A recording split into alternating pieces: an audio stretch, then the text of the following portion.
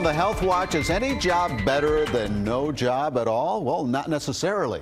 A new study out of the United Kingdom finds that the the quality of the job you have can make a big difference in the quality of your life. It found that people who went from being unemployed to working a bad job had higher biological indicators of stress than those who stayed unemployed.